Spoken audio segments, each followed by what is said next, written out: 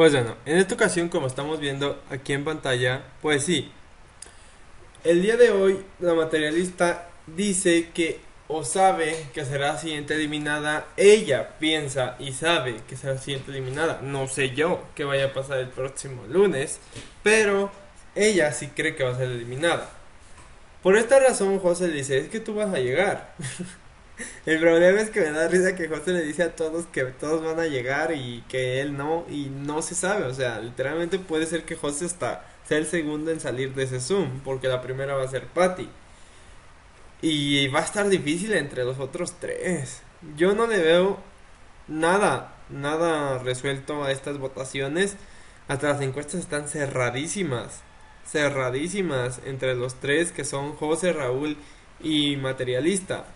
Pero ahí se puede ver cómo Patty se les despegó a los otros.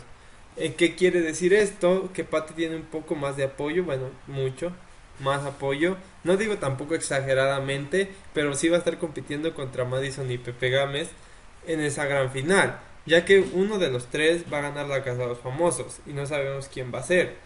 Debido a que esta casa fue la que menos han ido al Zoom. Si mal no recuerdo, todos han ido por lo menos una vez. Van a ir dos, todos los del cuarto agua, excepto José que ya sería su sexta, empatando con Madison. Pero que la materialista dude de estar en su estancia, uh, yo sí lo veo difícil. Yo siento que la materialista lo que sabe cada quien ya se quiere ir, pero es su actitud. Ya la he visto como diciendo, porque yo ya no me voy. Pero obviamente dicen, pues si me dejan, está re bien. Pero si me dejan ir, pues también. Es que también es mucha desesperación estar tres meses, chicos. Suscríbete, comparte, dale like. Nos vemos, chao, chao.